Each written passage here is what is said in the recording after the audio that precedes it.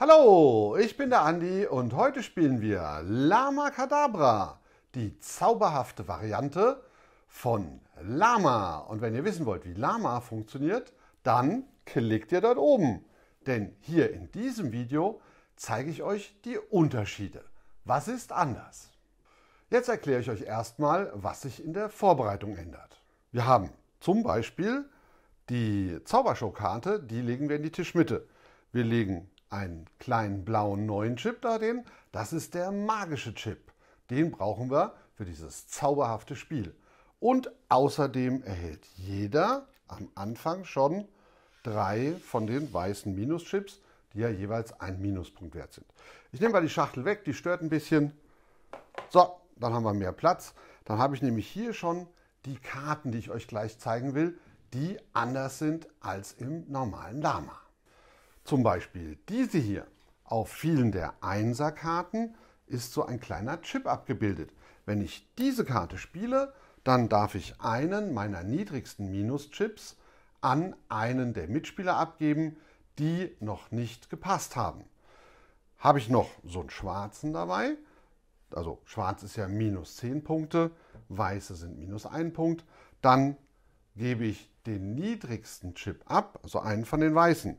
Stellen wir uns aber vor, ich habe nur den schwarzen, dann darf ich diesen abgeben, weil er in dem Moment ja mein niedrigster Chip ist. So, was haben wir noch? Wir haben Karten, auf denen jetzt zwei Zahlen drauf sind. Das ist auch eine super Sache. Die darf ich auf einen der beiden Zahlen, die da drauf sind, drauflegen. Also stellen wir uns vor, hier liegt bereits eine 3, dann dürfte ich die oben drauflegen, weil 3 auf 3 ist ja erlaubt. Jetzt hat der nächste Spieler den Vorteil, dass er entweder eine 2 oder eine 3 oder plus 1, also eine 4 drauflegen kann. Stellen wir uns mal vor, er legt diese 2 drauf. Das bedeutet, dass der nächste Spieler, der nicht gepasst hat, nun eine Karte ziehen muss. Hier vom Nachzugstapel. Danach beginnt erst sein normaler Zug. Dann haben wir noch diese Karte hier. Karten mit einem blauen Stern. Die gibt es mit der 5, aber auch mit 4 oder 3 drauf. Wenn die Karte gespielt wird, ich weiß, die passt jetzt hier nicht drauf eigentlich. Wir machen das aber mal. Da liegt eindeutig eine 4, ihr seht's, oder eine 5. Wenn die dort drauf gespielt wird, dann bekommt der Spieler, der sie gespielt hat, diesen blauen magischen Chip. Und der ist ja auch neu hier in dem Spiel. Den bekomme ich von egal woher, wenn ich diese Karte gespielt habe. Ob sie bei einem Mitspieler liegt oder ob sie auf der Zaubershow liegt. Vollkommen egal, ich bekomme diesen blauen magischen Chip. Was ist denn die zauberhafte Funktion dieses magischen Chips? Ihr dürft einmal aussetzen. Das klingt erstmal gar nicht so dramatisch. Aber stellt euch vor, ihr seid dran und habt keine passende Karte, die ihr ablegen könnt. Und ihr wollt keine Karte nachziehen. Dann dürft ihr den Chip für einmal aussetzen, in die Tischmitte zurückgeben und der nächste Spieler ist dran.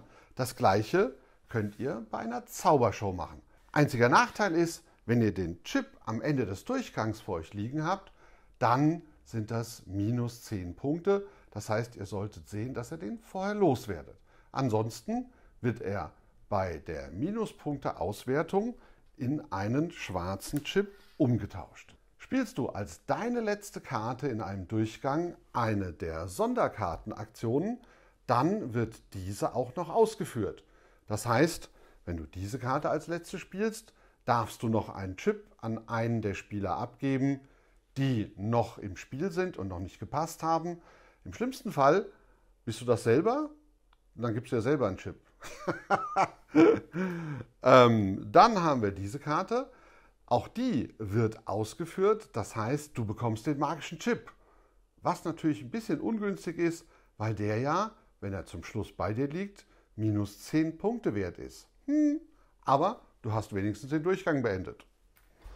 Und dann haben wir noch die hier. Auch da wird noch die Karte gezogen.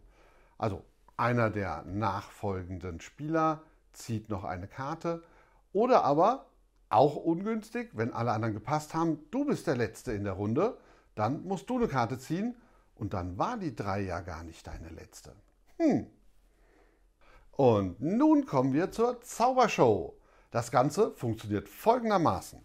Immer wenn ein Spieler ein Lama Kadabra legt, also auf eine 6 darf ich ja ein Lama legen, dann wird der niedrigste Chip des Spielers auf diese Show gelegt, auf die Zaubershow.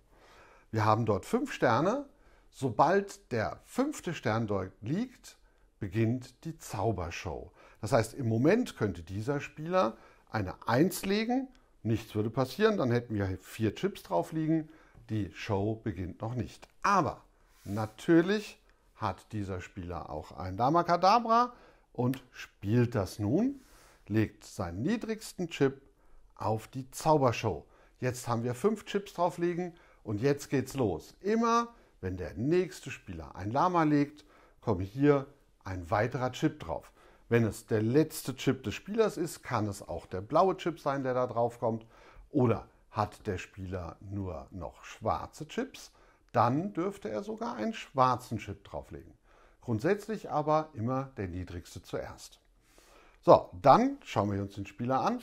Der hat natürlich, nicht dass ich das hingelegt hätte, auch ein Lama Kadabra und spielt dieses aus, legt einen seiner Chips hier noch drauf. Also nicht nur die fünf Sterne werden belegt, sondern weitere Chips kommen auch mit drauf. So, und nun bin ich wieder am Zug und Mist, ich habe kein Lama.